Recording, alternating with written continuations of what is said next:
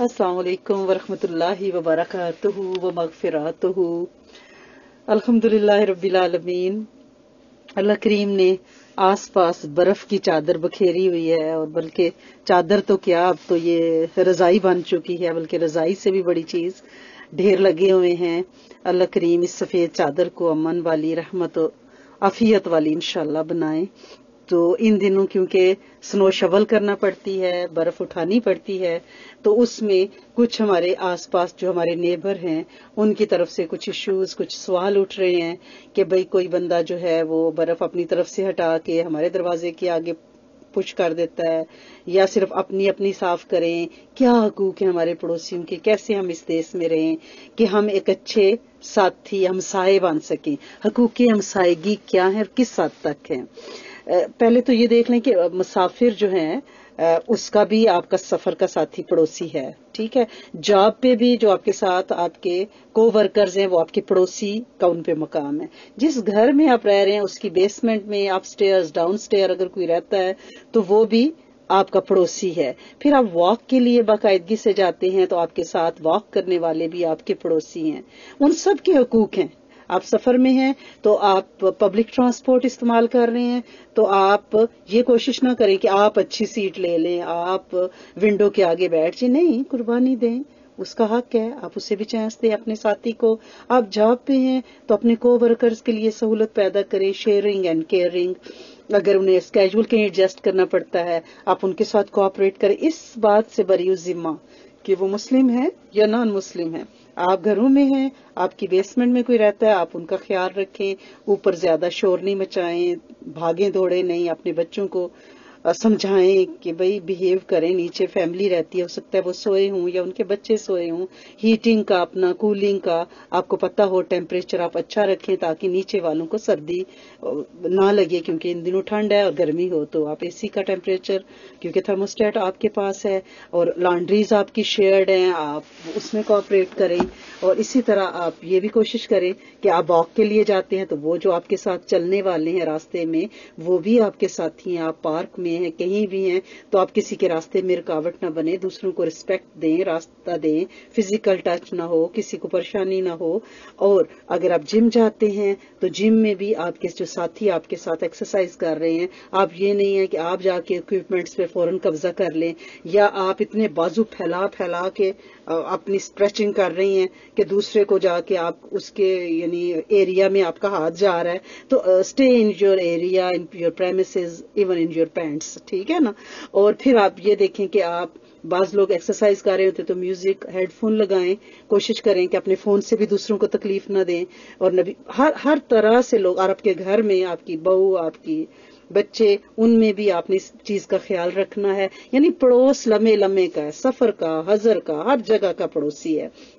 باہر سنو ہے، وہ آپ شول کر رہی ہیں تو آپ یہ خیال رکھیں کہ دوسروں کے دروازے کے آگے ڈھیر نہ لگا دیں، بلکہ ان کا بھی راستہ آپ صاف کریں، کیونکہ اسلام میں تو راستے سے پتھر ہٹانے پہ اللہ کریم انشاءاللہ اپنی رحمت، شفقت سے جنت کی راہیں مبار کرتے ہیں۔ نبی کریم صلی اللہ علیہ وسلم نے تین بار قسم اٹھا کے فرمایا تھا کہ جس کی ایزا اور شر سے ہمسائے محفوظ نہیں، وہ مومن ہی نہیں ہے۔ یہ بخاری شریف میں ہے۔ یعنی کسی بھی قسم کی کوئی تکلیف اگر آپ مومن کو پہنچاتے ہیں تو آپ مومن نہیں ہیں۔ اور ایک جگہ نبی کریم صلی اللہ علیہ وسلم نے فرمایا ہے کہ جس کے پڑوسی، اس کے شر سے محفوظ نہیں، وہ جنت میں داخل نہیں ہوگا۔ یہاں پہ لفظ پڑوسی ہے، ٹھیک ہے؟ یہاں پہ یہ نہیں کہا گیا کہ وہ ہندو ہے، عیسائی ہے کرسچن ہے، سکھ ہے، جو ہے، نہیں۔ پڑوسی جو بھی آپ کے نیبر میں ہے، آپ کے سفر ہزر جاب بیسمنٹ واک جم کہیں بھی ہے، وہ آپ کا پڑوسی ہے اور آپ نے اس کو تکلیف بالکل نہیں پہنچانی اگر آپ جنت میں داخل ہونا چاہتے ہیں۔ یہ میں نے آپ کو دونوں حدیث صحیح مسلم اور بخاری سے کوٹ کر کے بتائی ہیں۔ اور پھر نبی کریم صلی اللہ علیہ وسلم کی ایک حدیث تبرانی شریف میں ہے کہ ایک شخص نے آپ صلی اللہ علیہ وسلم کی خدمت میں حاضر ہو کر عرض کیا، یا رسول اللہ صلی اللہ علیہ وسلم، میں فلاں قبیلے میں رہتا ہوں، مجھ سے قریب تر جو ہمسایا ہے، وہ مجھے زیادہ تکلیف پہنچاتا ہے۔ آپ صلی اللہ علیہ وآلہ وسلم نے یہ سن کر حضرت ابو بکر صدیق اور حضرت عمر رضی اللہ تعالیٰ عنہ اور حضرت کرم علی کرم اللہ وجہ سے کہا کہ مسجد کے دروازہ پر آواز لگا دو کہ چالیس گھر تک پڑوس ہے۔ جس شخص کے پڑوسی اس کے شر سے محفوظ نہیں، وہ جنت میں نہیں داخل ہوگا۔ گویا آپ کی تو پوری اسٹریٹ ہی آپ کی پڑوسی ہے، پوری گلی آپ کی پڑوسی ہے۔ یعنی چالیس گھر تک پڑوس ہے۔ حکیم الامت رحمت اللہ علیہ نے فرمایا کہ پڑوس جو ہے، اس کا حق کس طرح ہم کریں گے کہ جو قریبی ہے، اس کا زیادہ حق ہے، جو اس سے آگے اس کا تھوڑا سا کم حق ہے۔ ٹھیک ہے نا؟ تو نبی کریم صلی اللہ علیہ وسلم نے فرمایا، جس نے پڑوسی کو ستایا، اس نے مجھے ستایا۔ جس نے مجھے ستایا، اس نے خدا کو ستایا۔ دیکھیں، پڑوسی کے کتنے حقوق ہیں۔ آپ کے آپ کے ہمسائے کے کتنا حق ہے آپ پہ۔ ایک آدمی نے نبی کریم صلی اللہ علیہ وسلم سے عرض کیا کہ فلاں عورت بہت نماز پڑھتی ہے۔ خواتین ماشاء اللہ بارک اللہ بہت نمازیں وظیفے کرتی ہیں، صدقہ دیتی ہے، روزے رکھتی ہے، لیکن پڑوسیوں کو اپنی زبان درازی سے ستاتی ہے۔ تو آپ نے فرمایا، ایسی عورت دو میں ہے۔ اسی طرح دوسری عورت کا ذکر کیا گیا کہ اس کی نماز، روزہ، صدقہ زکات وغیرہ کم ہے، لیکن اس کے پڑوسی اس کے شر سے محفوظ ہیں۔ آپ نے فرمایا، وہ جنت میں ہے۔ گویا آپ کے دیکھیں جو آپ صدقہ نماز زکات یہ آپ کا اور اللہ کا معاملہ ہے، یہ دار اسلام میں داخل ہونے کے لیے آپ کے فرائض ہیں، لیکن جو بندوں کے حقوق ہیں، ان کے بارے میں اللہ کریم اور نبی کریم صلی اللہ علیہ وسلم بہت زیادہ زور دیتے ہیں، کیونکہ اللہ کریم کو اپنی مخلوق بہت پسند ہے۔ اور نبی کریم صلی اللہ علیہ وسلم جو ہمارے لیے رول ماڈل ہیں، وہ اس حسنہ کی بہترین بہترین صورت میں تھے۔ نبی کریم صلی اللہ علیہ وسلم نے ارشاد فرمایا، جو شخص پیٹ بھر کر سویا اور اس کا پڑوسی اس کے پہلو میں بھوکا پڑا رہا، وہ مجھ پر ایمان ہی نہیں لایا۔ یہ بھی تبرانی کی روایت ہے۔ گویا آپ اگر اپنا مکمل ایمان چاہتے ہیں، تو آپ سوچیں کھاتے ہوئے کہ کیا آپ کے پڑوس میں، اور پڑوس آپ کو بتایا ہے کہ چالیس گھروں تک ہے نیبرہڈ وہاں تک کوئی بھوکا تو نہیں سویا ہوا۔ بھوکے پڑوسی کو کھانا کھلانے کی ضرورت ہے۔ یہ نہیں کہ خود پیٹ بھر جائے اور آپ پڑوسی کا خیال ہی نہ رکھیں۔ مقداد بن اسود رضی اللہ تعالیٰ عنہ سے ایک مرفون روایت ہے کہ پڑوسن سے زنا کرنا غیر عورت سے زنا کرنے سے زیادہ گناہ ہے۔ نیز پڑوس میں چوری کرنا اور گھروں میں چوری کرنے سے زیادہ گناہ ہے۔ یہ بھی تبرانی شریف میں ہے۔ یعنی گناہ بھی اگر آپ کریں گے تو اس کا سزا زیادہ ہوگی کہ پڑوس میں آپ نے وہ گناہ کیا ہے۔ حضرت انس رضی اللہ تعالیٰ عنہ فرماتے ہیں کہ آپ صلی اللہ علیہ وسلم نے فرمایا، اس ذات کی قسم جس کی قبضہ قدرت میں میری جان ہے۔ جب تک کوئی شخص پڑوسی کے لیے بھی وہی بات پسند نہ کرے جو اپنے لیے کرتا ہے تب تک وہ مسلمان نہیں ہو سکتا، یہ مسلم شریف میں ہے۔ یعنی یہ نہیں کہ ہم خود تو اچھی اچھی چیزیں اپنے لیے سلیکٹ کر لیں اور نیبر کو جو کوڑ کباڑ دے دیں۔ نہیں سیم چیز اپنی ذات کی طرح اس کو سمجھنا ہے۔ حضرت عبداللہ بن عمر فرماتے ہیں کہ ایک دن نبی کریم صلی اللہ علیہ وسلم جہاد کے ارادے سے نکلے تو فرمایا، جس شخص نے پڑوسی کو ایزا دی یعنی تکلیف پہنچائی، وہ ہمارے ساتھ نہیں جا سکتا۔ ایک شخص نے ایک صحابی نے کہا، یا رسول اللہ صلی اللہ علیہ وسلم، میں نے پڑوسی کی دیوار میں پانی ڈال دیا ہے۔ آپ نے فرمایا، تم ہمارے ساتھ نہیں چل سکتے۔ تم نے اسے تکلیف پہنچائی ہے۔ یہ صحیح مسلم میں بھی حدیث ہے اور بخاری شریف میں بھی ہے۔ یعنی اس جرم پہ ہی نبی کریم صلی اللہ علیہ وسلم نے اسے اپنی جماعت سے الگ کر دیا۔ یعنی ایک نہایت معمولی سا فیل ہے نا؟ وہ کتنے بڑے ثواب میں شامل ہونے سے محروم ہو گیا۔ حضرت جبیر بن متم رضی اللہ تعالیٰ عنہ فرماتے ہیں کہ نبی کریم صلی اللہ علیہ وسلم کا ارشاد ہے کہ کاتے رحم یعنی جو بول چال بند کر دے، وہ جنت میں داخل نہیں ہوگا۔ حضرت سعید بن زید سے روایت ہے کہ آپ صلی اللہ علیہ وسلم نے فرمایا کاتے رحم پر جنت حرام ہے۔ یعنی جو کسی سے، ہم کہتے ہیں کہ ہم اسے بات نہیں کر رہے۔ جنت حرام ہو جاتی ہے۔ حضرت ابی بکر رضی اللہ تعالیٰ عنہ کی مرفوع حدیث ہے کہ کوئی گناہ ایسا نہیں جس کی سزا دنیا اور آخرت میں جلد از جلد دی جائے، مگر سرکش اور قطع رحم یعنی خدا کی نافرمانی کرنے والے اور آپس میں بول چال بند کرنے۔ تو حقوق العباد کا جو ہم نے خیال رکھنا ہے، اس اس میں کیا ہے کہ یہ ایک نفلی عبادت کے طور پہ ہم نے اس کو لینا ہے۔ یہ عمر میں اضافے کا باعث ہے۔ یعنی آپ صلی اللہ علیہ وسلم نے فرمایا، جو شخص اللہ اور قیامت کے دن پر ایمان رکھتا ہے، اسے چاہیے کہ اپنی پڑوسی کا اکرام اور احترام کرے۔ آپ نے فرمایا، دو پڑوسیوں میں سے زیادہ قریب جو آپ کے ہے نا، اس کا حق پہلے ہے۔ جیسے دو پڑوسی آپ کو انوائٹ کرتے ہیں کھانے پہ، تو ایک ساتھ آ کے دعوت دیتے ہیں۔ تو آپ جو آپ، جس کا دروازہ آپ کے دروازے کے قریب ہے، آپ اس کی دعوت پہلے ایکسپٹ کریں گے، اگر ٹائی پڑ جائے دونوں میں۔ اور آپ نے فرمایا سالن میں پانی زیادہ ڈال کر پڑوسیوں کو بھی دو اور ان کا خیال رکھو۔ یعنی شوربہ زیادہ بنا لیں، لیکن نیبر میں کھانا لیکن یہاں سچویشن یہ ہے کہ آپ اگر کہیں کھانا بھیجیں اور کوئی بیمار ہو جائے تو وہ آپ کو سو کر سکتا ہے۔ ٹھیک ہے، آپ نے دوسری کمیونٹیز دوسری کمیونٹیز کا کھاتی بھی نہیں اور ہمارے لیے یہ ہے کہ حلال حرام کا چکر ہے۔ لیکن آپ اچھے موقعوں پہ ان کو گفٹ دے سکتی ہیں، ان کو پیکڈ فوڈ دے سکتی ہیں، جیسے آپ کا رمضان ہے، عید ہے، آپ کینڈیز چاکلیٹس ان کو بچوں کو اس طرح کی چیزیں بھجوا سکتی ہیں۔ یعنی جو پیکٹ میں ہو، جس پہ انگریڈینٹس لکھے ہوئے ہوں، یہ نہ ہو بریانی بنا کے ان کو بھیجے اور ان کا کام خراب ہو جائے اور لینے کے دینے پڑ جائے نا۔ انڈیا، پاکستان میں تو ہم کھانا بھیج دیتے ہیں، لیکن یہاں پہ اس بارے میں آپ نے کیئرفل رہنا ہے۔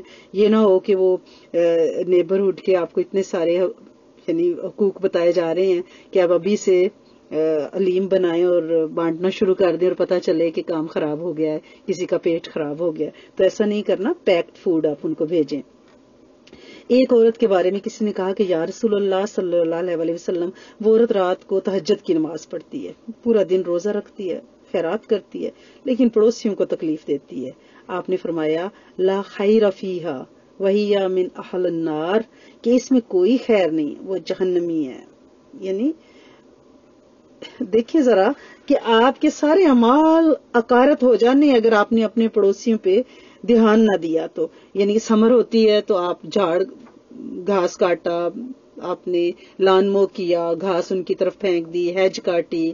لکڑیاں ان کی طرف پھینک دی یا آپ کے گھر میں کوئی ایسا درخت ہے جس کے پتے بہت جھڑتے ہیں، تو آپ اس کو کاٹیں، اس کی ٹریمنگ اور پروننگ کریں تاکہ آپ کی فینس پہ اگر ان کی کوئی بیل، کوئی فروٹ آیا ہوا ہے، تو آپ ان کی اجازت کے بغیر استعمال نہ کریں۔ یہ چھوٹی چھوٹی چیزیں لیکن یہ بہت زیادہ حقوق ہیں پڑوسیوں کے۔ یا آپ اپنے بیک یارڈ میں کوئی کھانا اور فوڈ اس طرح نہ ڈالیں کہ وہاں پرندے جمع ہوں، وہاں پہ گلہریاں آ جائیں، وہاں پہ ریکون آ جائیں اور وہ ان کے گھر میں نقصان پہنچائیں، ان کی چھتوں میں گھس جائیں۔ تو لہٰذا ان ساری چیزوں میں آپ نے بہت زیادہ خیال رکھنا ہے۔